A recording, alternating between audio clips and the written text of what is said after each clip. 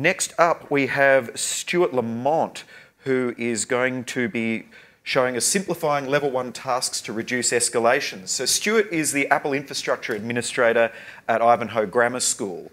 Um, several years experience in Apple Breakfix, um, as well as ACTC and Jamf certifications. Um, over the past three years, Stuart's changed the face of macOS deployment at Ivanhoe Grammar School. He's an active member of Melbourne Apple Admins community and has a keen interest in automating and simplifying help desk tasks. Now, this is Stuart's first time presenting at XWorld, so thank you, Stuart. Away you go. Morning, everyone. Thank you, Marcus. I hope not all of you are nursing nasty hangovers right now, so um, I won't make you think too hard. Uh, um, so I kind of called this talk a, a tale of automation, and, and that tale was me attempting to be funny. It, uh, obviously, you know, I hear a giggle, so thank you, thank you. um, so really what I want to talk about is uh, a couple of things that we've done to solve some problems uh, within our environment that were essentially every Mac coming through the door and me being the only Mac tech I was servicing every single one of them. And that was starting to become a little bit unwieldy, and so uh, we needed to find some solutions to that. So in our environment, we have uh, a little bit over 500 Macs and uh, a little bit over 650 odd uh, iOS devices, uh, and that's both uh, BYOD and school-issued devices and we also have about 2,300 users.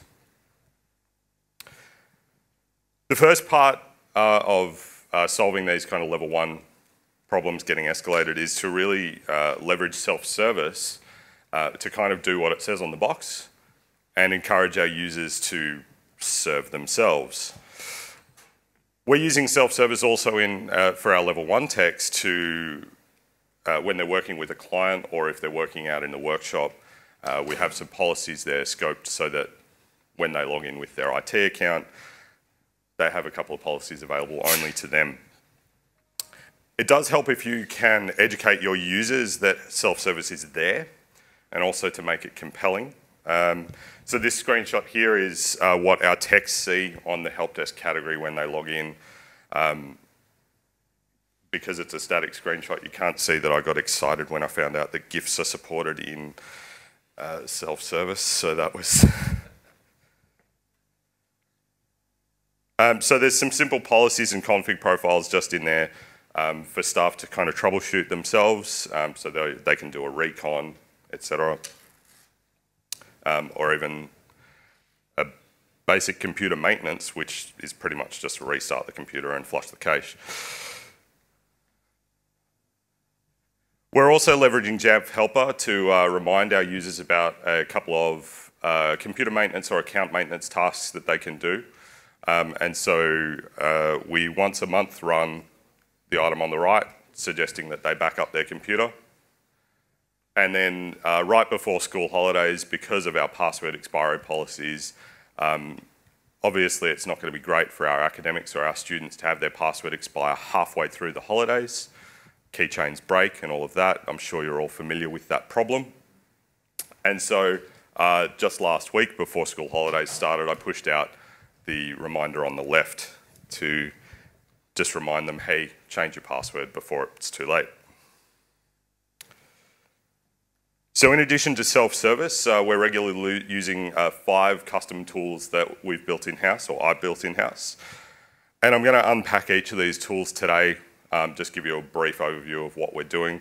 Um, a lot of these tools were built as a hack to make the problem go away. Uh, the intention, of course, being to fix the hackiness later. That hasn't happened yet. So rather than a, this being a, a prescription of what to do or what you can do, what I'm really hoping to do is kind of give you guys some ideas on problems that you can solve in your own environments. And, um, you know, maybe we can collaborate on some of those thoughts later. So the tools I want to talk about is Outlook for Mac Signature, login script, backup script, our BYOD onboarding script, and a takeoff domain script. As you can tell, my naming conventions are highly imaginative. Um, yeah, I, I really like having having it do what it says on the box. It's it's um, it's very helpful. Now, four of these five scripts are routinely only ever run by our help desk engineers. Um, we wouldn't normally get an end user to run them. Uh, that being said, we we probably could if we educated them a little bit. So some of you might be thinking, well, why automate these tasks? Like they're all pretty straightforward, right? Well, yeah, but your day might look a little bit like mine. It, that goes on for a while. So we've, so we've got constant interruptions, or maybe you want to simplify things so that you don't get absolutely every job escalated to you. Um, as I said, being the only Mac tech, we got a lot of things coming over, uh, just being escalated because people were scared because it had an Apple on the back of it. So you, you, might notice that the theory section of the XKCD comic here, that's the goal, that's the dream. The reality is not always that, but you know, we, we deal with that. And so sometimes when I'm solving these problems, this quote from the uh, limousine challenge of Top Gear comes into mind uh, because these are really just ingenious solutions to problems that just shouldn't have existed. Um, and then for some of the other problems that I'm solving, there's that.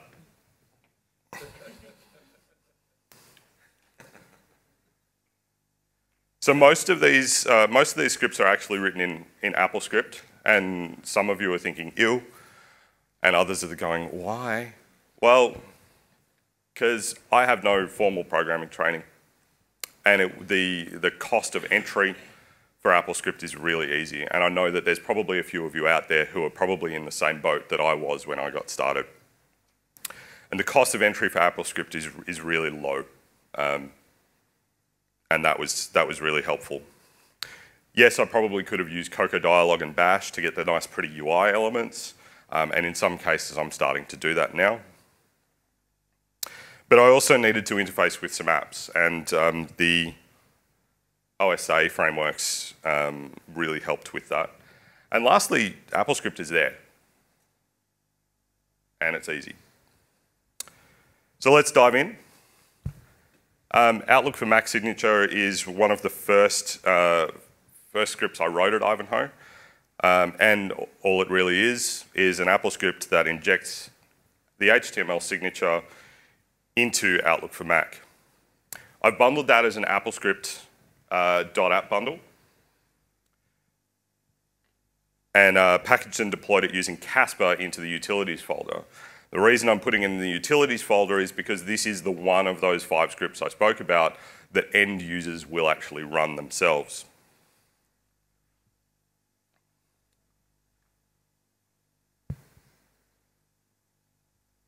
So why automate signature creation?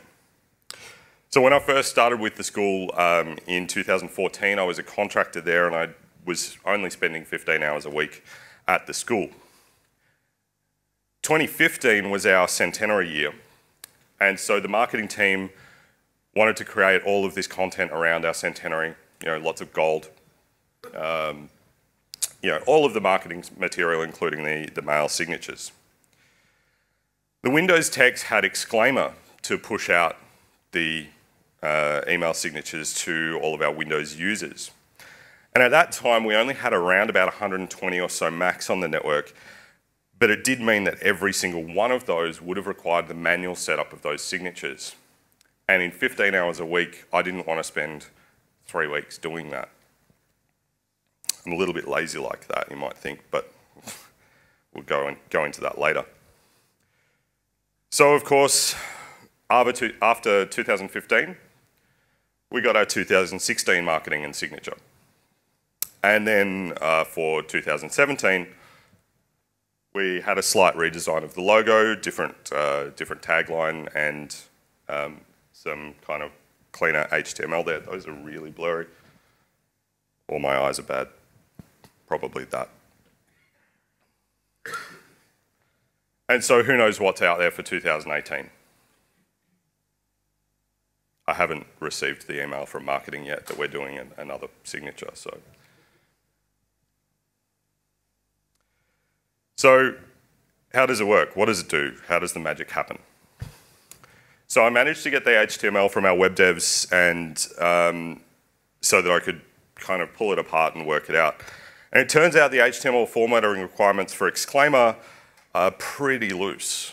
Like they don't seem to put the tags in the right spot, but they still display fine. As soon as you put that into a Mac, it all turns to custard. And so I had, had a little bit of a challenge fixing some of that up. Um, the script also then does a, uh, so it does a dscl lookup um, to pull the relevant info from AD. Unfortunately, this means that if your AD binding is busted, it doesn't work. Uh, it will prompt a user to uh, pick up info that's maybe not reliably stored in Active Directory. Uh, so, uh, for example, the campus that they're based at, um, to select the correct address on their signature. Um, the OSA framework then creates the new signature and injects the HTML. Um, and those OSA frameworks make that part easy because all you do is tell application Microsoft Outlook, create new signature with content, blah. It's, it's pretty easy. And um, finally, the user actually has to manually select their default signature in Outlook because what I was doing when I first wrote this in 2014, the lens cap's on, Tony. When I first wrote this in 2014, um, I was able to trick the TCC database into allowing me to automatically select those um, default signatures by using some kind of automator trickery.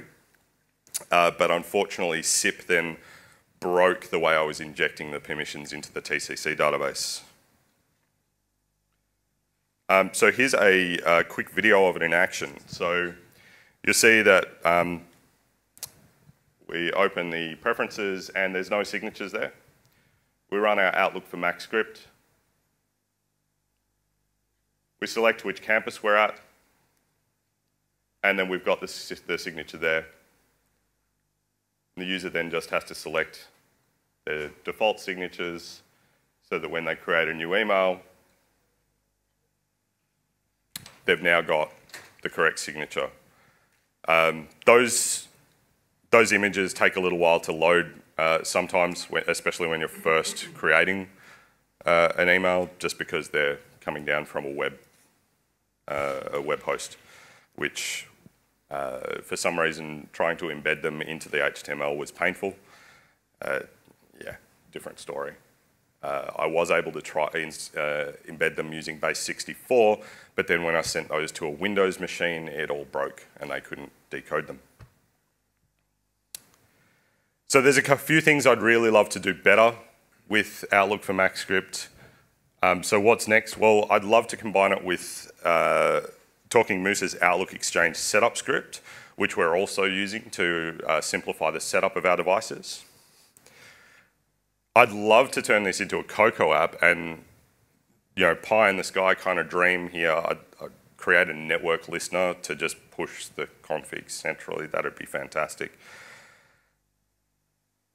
Um, and if I can find a way to uh, automate the selection of that default signature, uh, which moving to the Cocoa app might help me there to get uh, added to the accessibility database. Because sad face. The next one uh, is login script. Um, and so, unsurprisingly, it does what it says on the box. Uh, it's another AppleScript.app bundle, um, but this time it comes with a launch agent.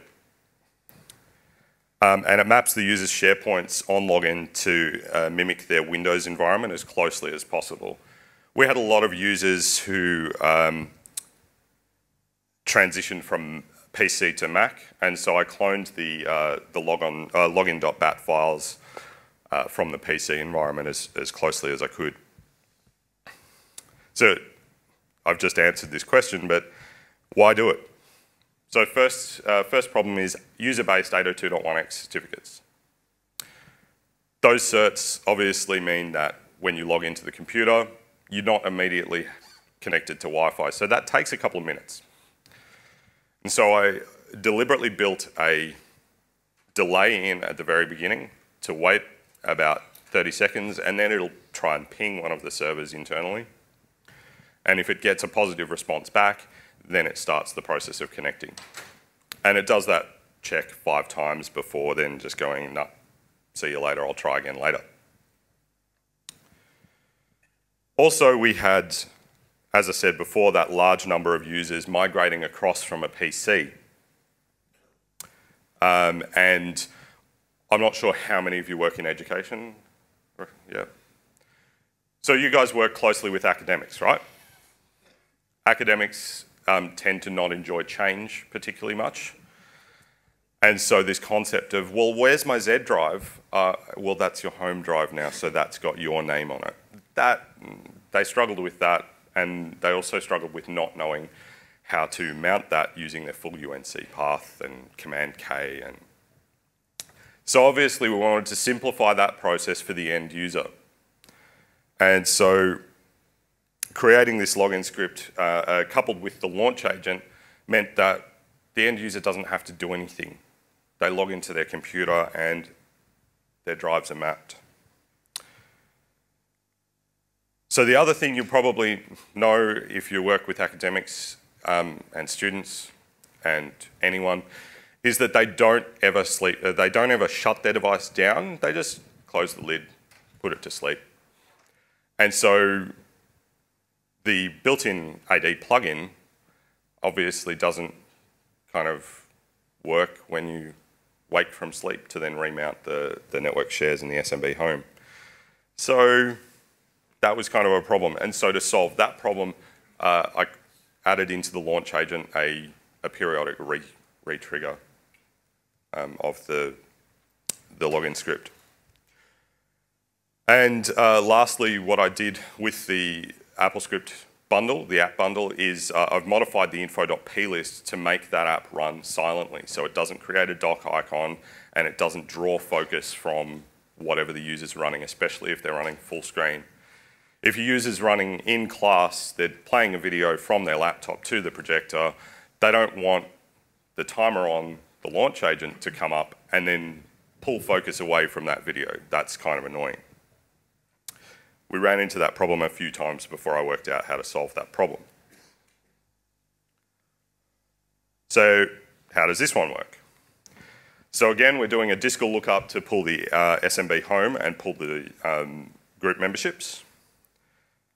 Because it's AppleScript, there's a very unwieldy if statement to then go, if you're a member of this group, mount these drives. Um, Unfortunately, AppleScript doesn't include a case statement, so uh, that caused that problem. I've also, I'm also mounting the volumes wrapped in a try-catch uh, block so that uh, we shouldn't end up producing error messages that prompt the user to, hey, there was a problem. You know, if they don't have permissions to a SharePoint, etc., we shouldn't then be drawing focus and um, presenting odd error messages that don't make any sense. Shouldn't. Um, so here's a video of it in action. Um, so we've got our nice, beautiful splash screen saying, hey, use of this computer.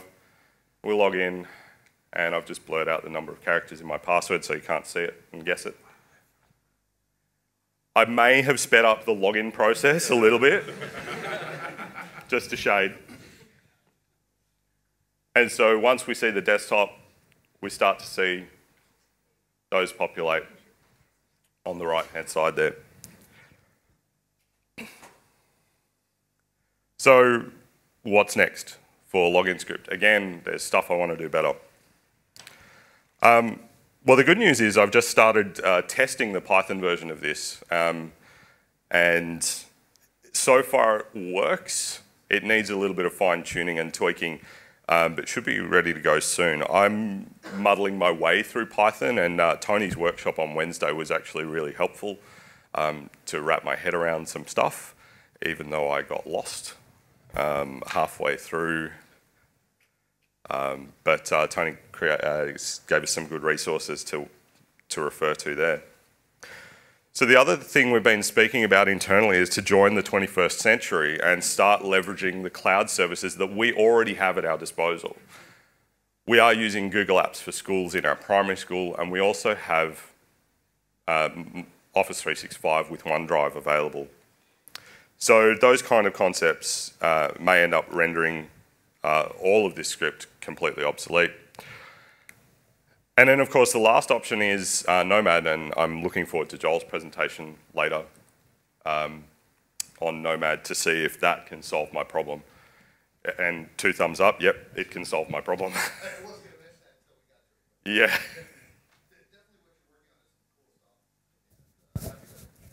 Awesome.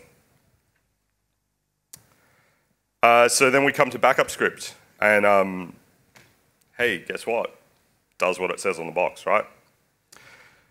So uh, I use the Apple script here again to mount some predefined network shares uh, to back, uh, so that we have uh, some predefined network shares on each of our campuses. Um, and I've built the script so that you can actually customize this. Uh, again, it's an Apple, uh, Apple script wrapper, and we're essentially just doing an rsync command.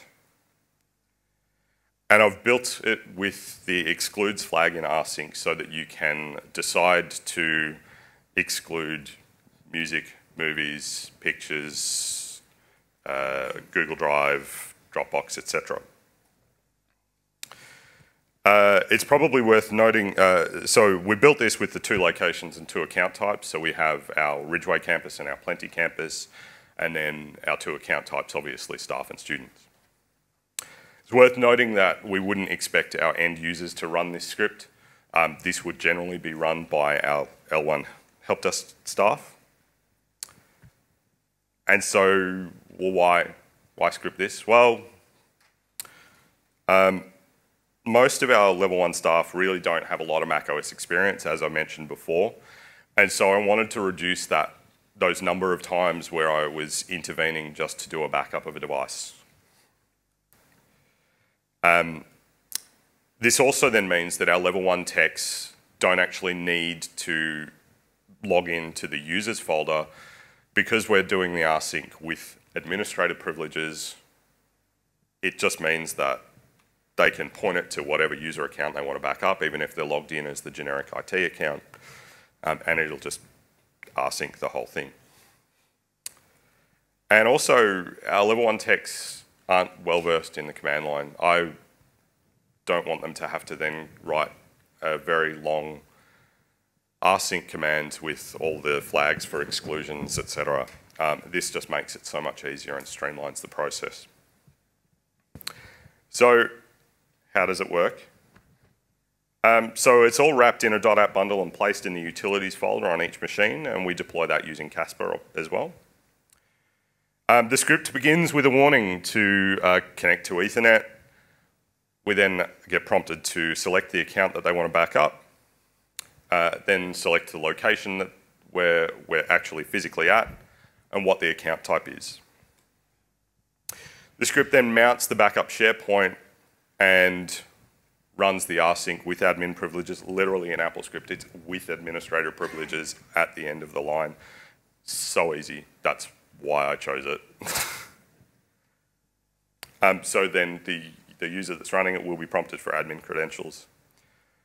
And then at the moment, this rsync kind of runs silently, um, which is a problem that I'm trying to solve um, potentially with Cocoa Dialog, uh, but you'll see that in a minute. Um, when we, uh, when we actually select the student account type, um, I'm building in exclusions of music, movies, uh, Google Drive, Dropbox, Parallels, those kinds of things, because I don't particularly want to back up all of the students' um, illegally downloaded movies.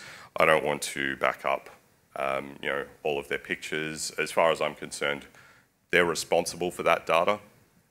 Um, and there's probably some edge cases where that could be said to be you know, school relevant, but in most cases it's not. Uh, in the case of staff, we just back up their whole folder regardless of what's in there. So, um, so here's a video of it in action. Um, maybe. Yep, there we go. So in the utilities folder, uh, we've got backup script there. Um, and there's a little bit of a spoiler here. Uh, we've got restore script as well that does the inverse. Imaginative naming, as I said. So we get our prompt, hey, it's recommended to plug into Ethernet. We get a list to choose the user account. We'll choose IT here. And are we at Ridgeway or are we at Plenty? Ridgeway, and staff or student. So then it takes a moment or so and we should see, come on, there we go. So we've got our SharePoint and then we get a prompt to say this is where we're going to back up to. We're prompted for our admin credentials and again hide the password. Don't want anyone guessing the number of characters. And so uh, then we get backup complete after a period of x, where x can be any number. And so this is, uh, this is obviously the problem, that gap after you click OK and there's no kind of dialogue. On that, in that case, that backup only took about a minute and a half because the IT account on these devices has no data in it. Um, unfortunately, on a user device, and we tested this, I think we had a situation on Monday where we actually used it, uh, it took about four hours. So obviously the screen's not doing anything, you're not getting any feedback. That's, that's a little bit of a problem. So that leads us into what's next. Well, you saw that restore script is there um, to kind of reverse this process, so that's done. I am trying to nut out how to uh, create the progress bar on uh, using Cocoa Dialog, and it might end up just being an intermediate, uh, indeterminate, sorry, uh, progress bar to begin with. And um, following on from that, I have actually started working on uh, turning this into a Cocoa app where you can uh, select the select the folders that you want, select the location, and have that single pane of glass instead of AppleScript prompt followed by AppleScript prompt followed by AppleScript prompt. Um, so then there's this unknown step in the middle, and then profit. Probably not, but again, I'm trying to be funny, so, you know, and it's not working. The next tool I want to talk about is our uh, OSM onboarding script. So OSM, uh, we call BYODs OSMs for out of school machine. It's just a different language, really. So uh, in year 11 and 12, uh, students at Ivanhoe have the option of continuing to use the computer that they got issued in year 9 which is at this point always a PC. And after two years, if you've ever worked with high school students, it's probably not worthwhile trying to uh, keep that thing running. Uh, or they can purchase a new computer through the school uh, and they get an option of a Mac or a PC at that point. Or they can BYOD, go to JB Hi-Fi, you know, pick up whatever's nice, Sometimes they might get a better deal, um, or they get given one for Christmas, that kind of thing. It's a private school, so. Uh, so the process here used to be pretty complicated and time consuming uh, for our IT staff. So the users would drop in their computer and we'd probably have it for about a day um, to install the Casper suite, install our, uh, oh, sorry, the Jamf agent, um, install our uh, kind of required software, et etc., etc. Uh, so by scripting and automating as much of this process as possible, uh, we can now actually onboard a BYOD device uh, to our specifications in about 30 minutes. Uh, and that's including the user-initiated enrolment time, which is probably one of the longer parts of the process. And then following on, there's also the, the process of setting up the user's Outlook um, and setting up uh, the, the user's individual account, which I'm not really going to go into um, in this presentation. Um, so what do we do here? So first of all, we need to enroll the device using um, using user-initiated enrollment. And then we run a self-service policy. So it's just in that help desk, in that help desk category in self-service. And the first thing it does is it um, runs a bash script um, for the IT staff member to put in a computer name so that the AD bind will work. Um, this computer name needs to exist in Active Directory for the AD bind to work because we're using a service account that has no privileges except for bind. Um, I, I use a bash script and I, am actually using a, a, bash AppleScript wrapper to pull this, uh, to get this dialog box and pull that in. I probably could have used Cocoa Dialog again, but it seemed overkill. And then I already, I know that osascript will be available on every device that comes through the door. I don't have to push Cocoa Dialog on enrollment complete. Uh, the policy installs some school-specific software um, it creates our local admin account. It runs a couple of scripts like setting the time zone and um, putting the uh, NTP, uh, pointing the NTP service to our domain controller so that we don't end up with Kerberos clock skew problems. Um, and there's a little bit more to do after they log in, but uh, following this, it cascades over to another policy to run an Active Directory binding. So there's a bit more after this, so we have to log in as the user account um, as the end user, set up their Outlook, set up all the other things that they need, some school-specific shortcuts, etc. Again, I've got a video of it in action. So uh, we've just finished the, uh, the user-initiated enrollment. We'll open up self-service and log in and blow my password. Head over to the help desk category and join OSM to RGS network. So we click that and we get asked to enter a computer name. In this case, we'll just click OK. And I've sped it up, as you can see from the GIFs that are going insane. So we then get a uh, Jamf display message um, to check the AD bind has been successful and also to uh, then log in as the user and complete the setup. So lastly, the last tool that I really want to talk about is um, our takeoff domain script. Um, this tool is probably the one that made our help desk techs the most excited. At the end of our year, uh, year 12, our students get to keep their computer. They've paid for it through their school fees, so it's theirs as far as we're concerned. Um, or it was a BYOD to begin with. So when they finish, we want to turn it back into a computer that can actually be used in the real world. They might end up going to a university that wants to install their own Jamf binaries, etc., or they might end up needing to bind to a different Active Directory, although I pray that they don't. Um, but the other, uh, the other thing, of course, is that they, they might still want to keep some of their data. Now, before this script got created, what we were doing, um, and it still makes me shudder to this day, was we were getting the user to back up their own data. It's your data, you're responsible. Uh, and then we would bring the machine in and factory reset it back to an out-of-box experience. We still to this day do this with our PC devices to just restore it back to factory defaults and then they get a Windows education license. With the Macs, uh, what we were able to achieve with this script is um, you know, we no longer restore to factory defaults the user doesn't actually have to back up their data because we're not touching their user account and it's no longer as time consuming. We used to have the machine in for at least a day. We can now actually run this process with the user at the front desk in about 10 minutes. And um, that's especially good for students who are about to head into university. They didn't bother to come in in December before they left the school to get the machine taken off the domain.